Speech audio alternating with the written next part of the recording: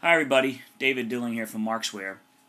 Today I'm going to share a little bit about our summer holiday this year with the family, which, uh, you know, was always great, relaxing, and perfect weather uh, down there in Spain. And on the way back, we spent some more time in France, which we always enjoy, in the Burgundy region, Bourgogne. And we love castles, you know, checking things out, just exploring and everything like that. Came across this sprawling, huge terrain and, and, and this beautiful chateau, this castle. And we soon learned it was uh, La Chateau de la Ferté. Uh, used to be an old abbey uh, back in the day, and during the French Revolution was bought by uh, a man, Louis Jacques Thenard. And we met his uh, great great grandson, maybe his great great great grandson, but you know, in any event, you're getting the picture here. There at the at the castle in, in front of it, and he gave us a tour. And what was the most interesting was we're going to learn about the history of the rotary press, the rotation press for printing newspapers and large journals. You know, it was really neat just walking in after this beautiful tour of all the rooms and all that, 18th century rooms, and you could see and touch everything, which is different from other castles and chateaus I've been in in Holland and Belgium and other places.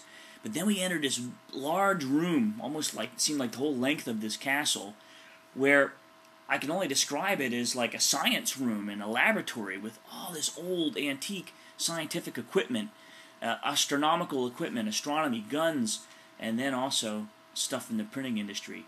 A real antique uh, Thomas Edison mimeograph right there to touch and to video and to see. And then uh, I saw the plates there, not the actual rotary press, but these, these, these plates, these rounded plates with old imagery on there uh, even old guy on a bike.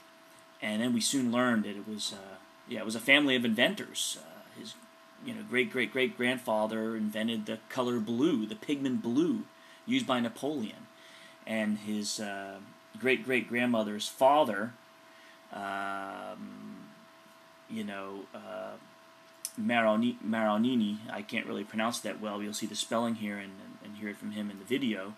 He is the creator, the inventor of the rotary press. Now, uh, it is said that uh, another man is uh, credited, uh, Mr. Hoe, H-O-E, with creating the rotary press as well, probably around the same time in America and patented it. But it appears that uh, Maroni also created it around the same time in, in, in France in this region. And uh, there's a rich history about the family Thenard and this rotary press you'll hear about that as well. So yeah, sit back, enjoy the video. It was an amazing tour. If you're ever in there, in there, that part of France, go check it out. Lovely place to see, and uh, you know, here's the video. The inventor of the rotary press, you find him over there, Hippolyte Michaud Marinoni. And he invented it in the 19th century, and over there you find an example of the, the rotary press. It was an enormous invention. Forward the um, pressed, pressed like this, mm -hmm. and afterwards like this. But the monks here of La Ferté, it's called, they, um, they invented the first press before Gutenberg, but I don't know it's true, but um, you yeah. find there, there a little, a little example. Okay. That this was in the 19th century. Yes, my, my great-grandfather, he gave it uh, uh, um, for free on lots of um, uh, journals, mm -hmm. also to the Bien Public, that was um, uh, a journal here in Burgundy. And um, he had one son. He was homosexual and uh, to the left, uh, political to the left. Yeah. And after that, his father found it, he found it horrible, and he gave the press after his he gave the journal after his death uh, to the family here and not to his son. So wow. the family possesses the, the lots of uh, uh, newspapers here in the in the, in the neighborhood. Okay. In I hope they use FlightCheck.